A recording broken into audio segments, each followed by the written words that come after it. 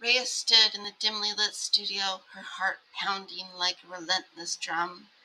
The weight of her decision pressed heavily on her shoulders, a burden that grew with each passing second. Her voice, once a source of joy and freedom, had become quite the double edged sword, slicing through the lives of those who listened. Her fans, once adoring and supportive, had transformed into obsessive followers, unable to escape the grip of her haunting melodies. The thought of what she had done to them filled her with dread on a daily basis. Dr. Evans, a man of science and reason, stood across from her, his brow furrowed in concentration. His lab was a stark contrast to the chaos that swirled within Rhea's mind. The walls were lined with shelves, each crammed with strange instruments and sound equipment that hummed with latent energy. His fingers danced over the controls of a large mixing board. Wait, what? Adjusting frequencies with precision that only years of expertise could bring. Rhea, his voice steady and calm, he began. We're dealing with something unprecedented. Your voice operates on frequencies that affect the human brain and psyche in such ways that we've never seen before. It's as if your vocal cords are attuned to that primal part, something that triggers deep seated responses in all of us. Rhea nodded, her throat tight with anxiety. She had known this for a few days, but hearing it confirmed by a man of Dr. Evans' stature made it all the more terrifying. We need to develop a counter melody, he continued. Something that can disrupt the effect your voice has on people without destroying the essence. But it won't be easy. The melody has to be perfect. The two of them spent hours and days poring over the sound waves and frequency charts that scattered across his desk. Their minds worked in tandem despite the tension building between them. Rhea had always relied on her intuition when singing, but now she had to rely on cold, hard science, a world she barely understood.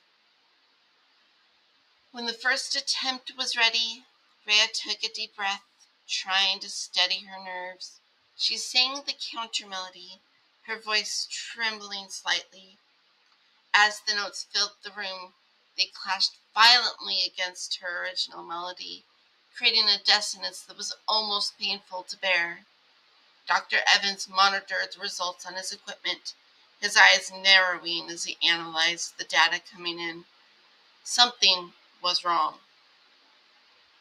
The dissonance grew, the sound waves spiking erratically on screen. Rhea's voice, normally so controlled, began to waver as the counter melody spiraled out of control. The feedback loop created a screeching sound that reverberated through the studio, sending a shockwave of pain through Rhea's very skull.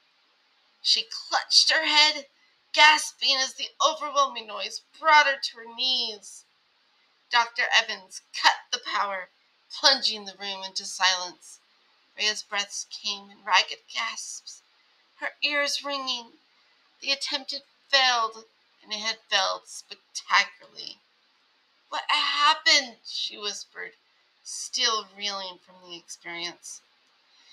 We underestimated the complexity of the sound waves your voice produces, Dr. Evans replied grimly. The counter melody wasn't strong enough. It couldn't neutralize the effects, only amplify them for some reason. If we're not careful, we can make things worse. The studio was silent except for the soft hum of the equipment still running. The walls, usually a cocoon of soundproof padding, now felt like they were closing in on her. The red light of the recording indicator blinked menacingly, casting an eerie glow on the consoles. Rhea could almost feel the echoes of the feedback loop still bouncing off the walls in her mind, as if the room itself had absorbed the pain of her failure. Her body was still trembling, her head pounding from the screeching feedback that had overwhelmed her. She could still feel the echoes of that dissonance deep in her bones, a painful reminder of how dangerous her power had become. Dr. Evans quickly moved to her side, his expression a mix of concern and determination. Are you all right? he asked, his voice gentler than before. Rhea nodded weakly, though she wasn't sure if she was telling the truth. She stared at the floor. A memory surfaced. As she stared at the floor, a memory surfaced. Her mother's voice, soft but firm. Rhea, our voices are a gift, but they come with a curse.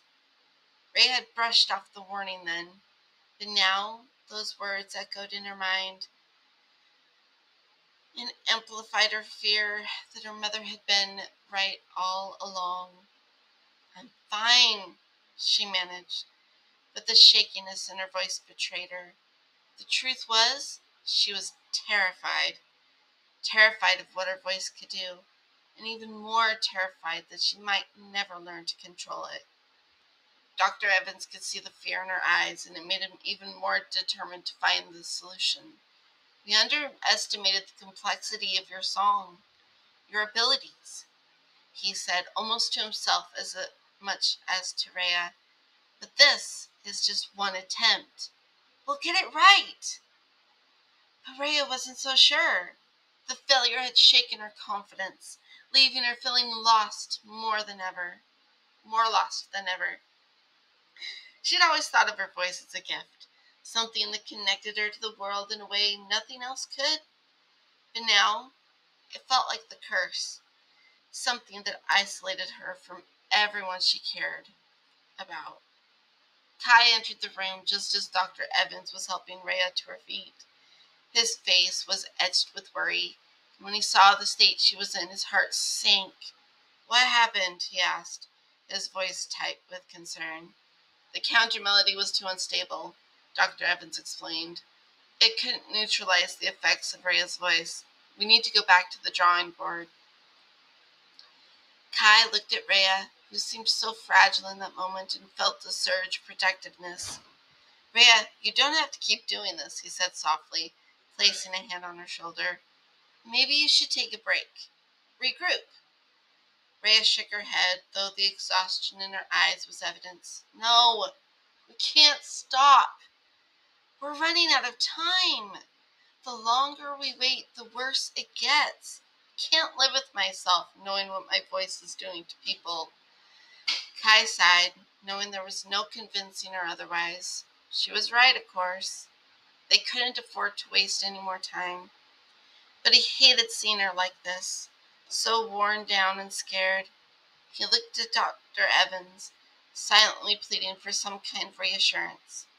We'll find a way, Dr. Evans said firmly, though he wasn't entirely sure who he was trying to convince Rhea, Kai, or himself. We just need to approach this differently. The failure of the first attempt left a deep mark on Rhea and she began to doubt not just her ability to control her power, but her ability to sing at all. The joy that once come so that had come once so easily, the connection she always felt to the music, now seemed to slip away. Every note she sang was now tinged with fear, every melody laced with uncertainty. She found herself avoiding the studio dreading the moment when she would have to try again. Instead, she spent long hours alone, her mind racing with thoughts of what could go wrong. Days would pass by as she lost herself in her favorite books or other hobbies. Try as she might, it didn't distract her mind for long. She remembered the looks in her fans' eyes, the way they seemed to lose herself themselves in her music. She often remembered how powerful she had felt how quickly that power had turned into something dark and uncontrollable. Meanwhile, Kai was struggling with his own doubts. He had always been the one to push Rhea, to believe in her when she didn't believe in herself. But this was different. This wasn't just about her career or her talent. This was something much bigger, something that neither of them fully understood. He couldn't shake the image of Rhea in the studio, her face pale and drawn, her voice trembling with fear. She had always seemed so strong, so sure of herself. But now she seemed to be slipping away, and he didn't know how to help her.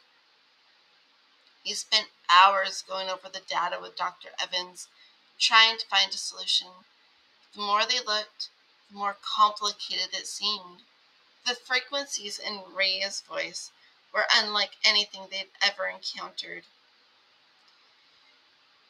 So complex, so layered, that finding a counter melody that could balance them seemed almost impossible. But Kai refused to give up. He knew that if they didn't find a way to help Rhea, she would be lost to them, to the world. That was something he couldn't accept.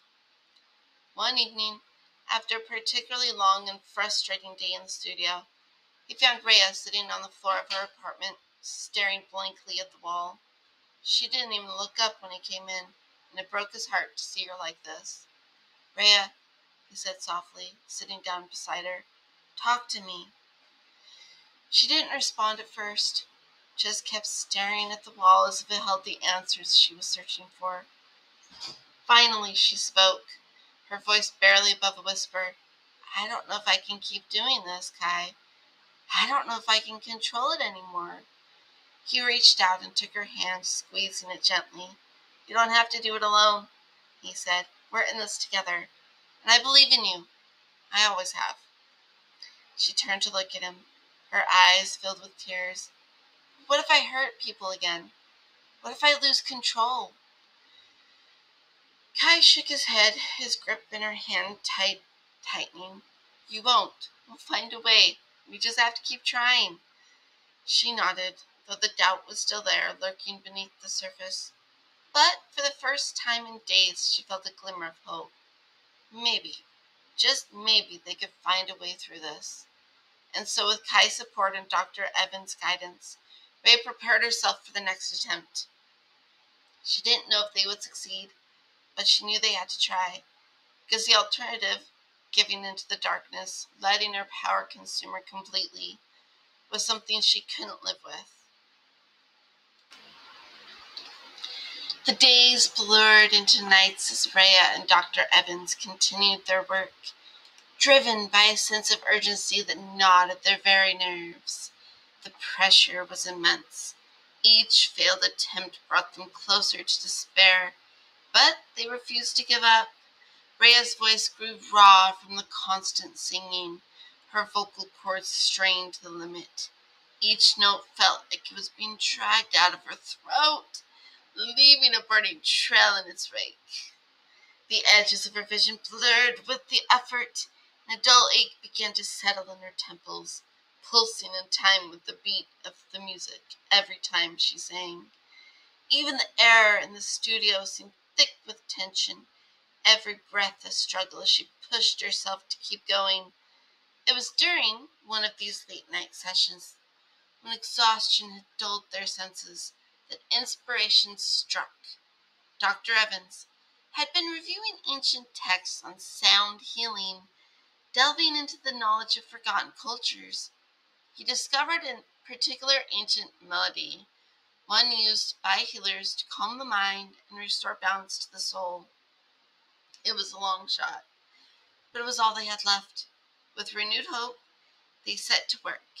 Dr. Evans adjusted the frequency, matching them to the notes of the ancient melody. Rhea listened intently, feeling the vibrations of the sound resonate within her. It was different from anything she had ever heard, a melody that seemed to wrap around her, both soothing and unsettling. As she sang, Rhea felt a flicker of hope, but it was quickly overshadowed by doubt. What if this was just another false start? What if this melody, like all the others, couldn't control the darkness growing within her? She pushed the thoughts down focusing instead on the not on the notes. But the fear gnawed at her, a constant reminder that one wrong move could spell disaster. The hauntingly beautiful tune seemed to reach deep into her being. When she sang, something clicked. The notes flowed effortlessly, intertwining with her own melody in a way that felt right. There was dissonance. Actually, there was no dissonance, no painful feedback. Instead, there was harmony this time, a perfect balance that filled the room with a sense of peace. Dr. Evans watched in the screen in amazement as the sound wave stabilized, the chaotic spikes smoothing into a gentle rhythm. It's working, he whispered, his voice filled with awe. Rhea, it's working! But the true test would come when they played it for her fans. As Dr. Evans fine tuned the last of the settings, a sliver of doubt crept into his mind. What if the melody wasn't enough? What if it unleashed something more uncontrollable?